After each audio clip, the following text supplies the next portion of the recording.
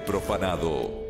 Luego de ese duro acontecimiento, Herminda decidió publicar un año más tarde el libro Mi hermana Evita, donde contó la infancia compartida y la determinación de Eva de convertirse en artista y probar